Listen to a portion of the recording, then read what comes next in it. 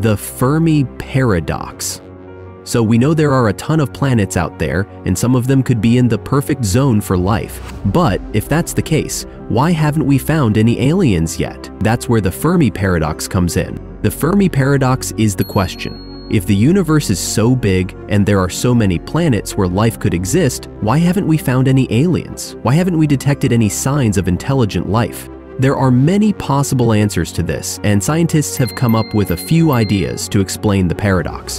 One theory is that alien civilizations are too far away for us to detect. The universe is so vast that even if there are other civilizations out there, they could be light years away, making communication or travel nearly impossible. Another theory is that alien civilizations might be too advanced for us to detect. Maybe they figured out how to hide their signals, or they're using technologies we don't even understand yet. There could be alien life out there, but it's so different from us that we can't recognize it. And then there's the more chilling theory. Maybe advanced civilizations destroy themselves before they can make contact. Perhaps civilizations tend to self-destruct after reaching a certain level of technological advancement, which could explain why we don't hear from them. Whatever the reason, the Fermi paradox reminds us that the search for extraterrestrial life is still full of mystery. Want to see the full thing? Links in the description. And hey, don't forget to hit that subscribe if space stuff's your vibe.